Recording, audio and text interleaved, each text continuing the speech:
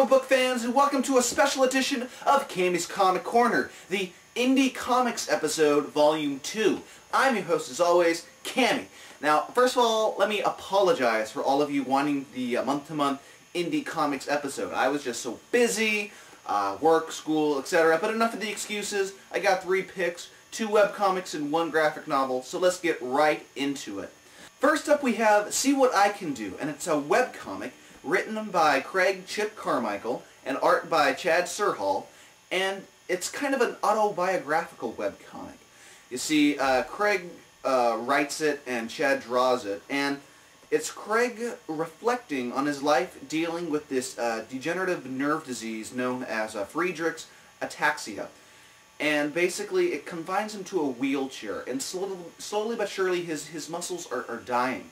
And so we get a very unique perspective with this webcomic, uh, seeing how he, he deals uh, with it and how we go through uh, his different phases of his life and how it uh, developed early on, how he didn't really want to go in a wheelchair because, you know, in high school, kids are just, they'll torment the fuck out of you.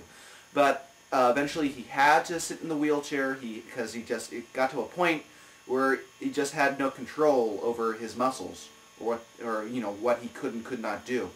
So while it can be really sad at times, it's also just it makes you feel overjoyed, and it's kind of like a you can do it. He doesn't want your pity. Uh, he has humor uh, scattered throughout this, and it's obvious that he he's comfortable enough to not only share his life story, but he even will uh, make he'll joke in some uh, cases about uh, like maybe the way he got to school on on, on the uh, on the short bus or and how his friends in the comic you know say oh that's offensive. You can't say that. He's like what? You know I was on the I was on the short bus. But uh, it was a very enjoyable web web comic. It really helps you you know see this disease from a different perspective.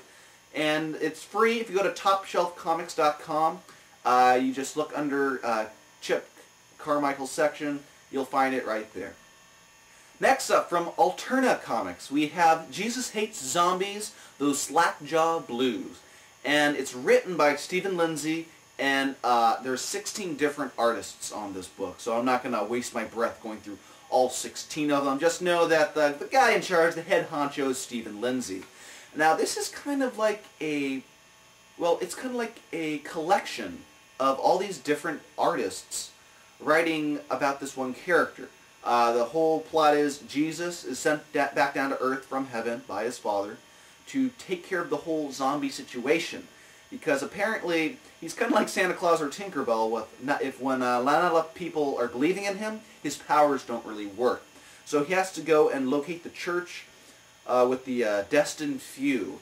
And in the meantime, he has to go through you know all these different cities, all these different countries, fighting off zombies. So a lot of people might uh, argue that you know the zombie comics are dead, uh, they're not funny anymore, they're not enjoyable. Well, I think they get a bad rap from just the Marvel zombies stuff nowadays because you feel like that's never going to end, but it's undead, it keeps going on. Not the case with this book. I had tremendous amounts of fun reading through all the different stories, all the different artists. It just it's so nice, and I really like this, especially uh, seeing independent artists that you've never heard of before and then you're going, oh, I'll keep a keep an eye out for that guy in the future.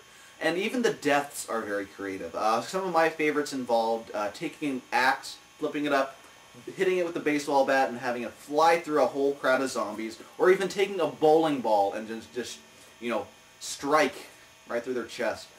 Uh, it's very uh, enjoyable stuff. Uh, this, this, is only the first volume. There's uh, several other volumes, all written by Stephen Lindsay, all with different artists. So if you like zombies and you like something a little bit quirky, pick up uh, Jesus Hates Zombies, uh, those Slackjaw Blues, with a cool Arthur Suydam cover for the reprinted collection.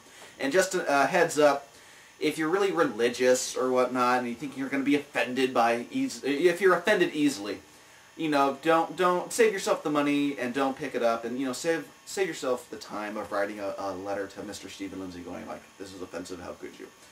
This is for people who like to enjoy a little humor in their lives. To find out more on Jesus Hates Zombies, check out alternacomics.com or captionsandballoons.com. And finally this episode we have Elmer, and it's written and drawn by Jerry Allen Guillen. And basically, Elmer uh, focuses on this one chicken. That's right, chicken. Named Jake Gallo. As he's just going through his day like all, like all of us do. You know, we can relate to chickens. He wants to get a job. Uh, he's being discriminated against. He likes to masturbate to online pornography. I mean, he's just like us. Only in this little topsy-turvy world, chickens are granted the same rights as humans, and they can also talk, they can get a job, etc. So Jake's kind of, uh, he comes from a family out on the farm. He has a very successful movie star older brother, and his sister is a nurse who's actually seeing uh, the doctor she works for, who is a human, and you know, that's kind of interracial, anyway, interspecies actually. Um, but he gets a call one morning, his father had a stroke, so now the entire family is going back to the farm to say their, you know, their last goodbyes and whatnot.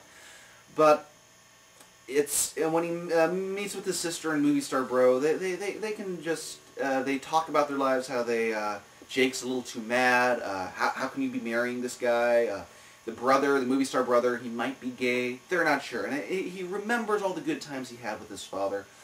I really enjoyed the series because the art alone is just gorgeous. But then add in a funny, quirky story about like a talking chicken. I love it. Uh, if you want more of it, you can uh, buy this in printed form. Go to uh, komikero.com. That's uh, Gerry's uh, uh, website, and you can see more art by him. If you want to buy something from him, all located right there. Well, comic book fans, that does it this episode. If you want more Cammy's Comic Corner goodness or the first volume of the Indies Comics episode, head on over to www.cammyscomiccorner.com. From there, you can see all the past shows, you see the weekly reviews, you can subscribe to us on iTunes and the RSS feed, and read my weekly reviews and Book of the Month columns. Also, if you like any of the kick-ass t-shirts you see me wearing, head on over to www.deadlinegraphics.net and send Kelly an email. There's only one name that I trust when it comes to comic book t-shirts. That is Kelly over at deadlinegraphics.net. Another shout out to Rising Sun Creations. They specialize in the best of U.S. comic books, manga, and collectible toys imported straight from Japan. All at rsd-online.com. Like I said before in the beginning, I'll try to get these out more consistently because I have tons of indie creators lined up. If you want me to review uh, independent comic or graphic novel, head on over to Cammy's Comic Corner and send me an email at cammyscomiccorner at gmail.com. So until Volume 3 comes out, hopefully soon, this has been Cammy. Thanks for watching. Now go read an independent comic.